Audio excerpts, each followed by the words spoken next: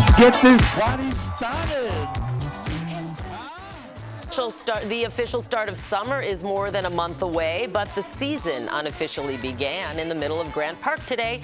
People gathered at Buckingham Fountain for the eighth annual Switch On Summer event. The festival features music, food, and family fun as Park District officials turn on the water for the summer.